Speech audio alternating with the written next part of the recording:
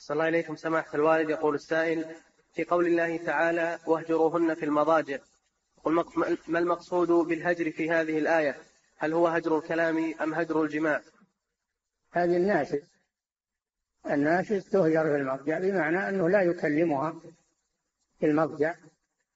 وأيضا قالوا لا يستقبلها بوجهه وإنما يوليها ظهره حتى تتأدب. نعم.